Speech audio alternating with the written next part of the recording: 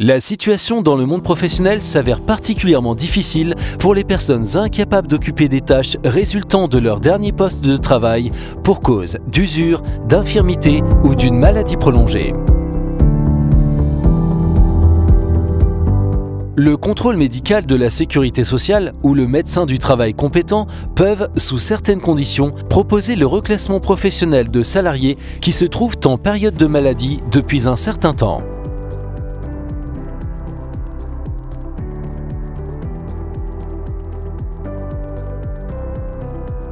Le contrôle médical de la sécurité sociale ou le médecin du travail compétent saisissent alors la commission mixte. Celle-ci vérifie que les conditions administratives sont remplies et statue en se référant à un avis médical sur un possible reclassement professionnel. Si le médecin du travail compétent constate une capacité d'occuper les tâches résultant de votre dernier poste de travail, la commission mixte refuse le reclassement professionnel. Si le médecin du travail compétent constate l'incapacité d'occuper les tâches résultant de votre dernier poste de travail, la commission mixte décide le reclassement professionnel interne ou externe.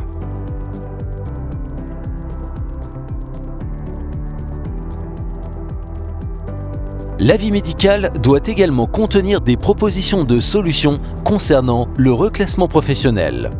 Le reclassement professionnel du salarié peut s'effectuer chez son ancien patron ou au sein d'une nouvelle entreprise. Lors d'un reclassement professionnel interne, votre employeur vous propose un nouveau poste adapté à votre situation médicale. Plusieurs solutions peuvent être proposées. Soit vous assumez une nouvelle tâche au sein de l'entreprise, soit vous conservez votre poste qui est alors adapté à vos besoins spécifiques. Les employeurs qui emploient régulièrement au moins 25 salariés ont l'obligation de reclasser en interne leurs salariés.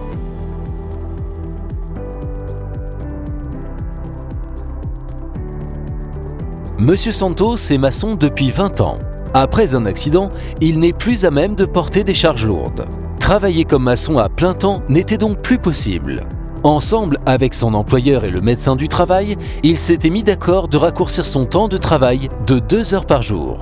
Après une formation de deux mois, M. Santos a commencé sa nouvelle activité en tant que grutier au sein de son entreprise. Si un reclassement interne n'est pas possible, la commission mixte décide d'un reclassement externe. Automatiquement, la personne concernée est alors inscrite comme demandeur d'emploi à l'ADEME. Elle peut alors, sous certaines conditions, bénéficier des indemnités du chômage et est encadrée par l'ADEME dans sa recherche d'emploi qui prend en compte sa situation médicale. Suite à la décision de reclassement de la part de la commission mixte, vous pouvez bénéficier de plusieurs aides financières. Si le reclassement entraîne une diminution de votre rémunération, vous avez droit à l'indemnité compensatoire représentant la différence entre votre ancienne et votre nouvelle rémunération. Si vous n'avez toujours pas retrouvé d'emploi et que vos droits à l'indemnité de chômage viennent à échéance, vous pouvez faire une demande afin d'obtenir l'indemnité professionnelle d'attente.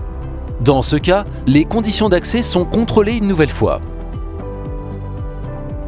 Votre employeur peut bénéficier d'une prise en charge pour une partie des frais salariaux, des frais de formation ou des frais d'aménagement des postes de travail.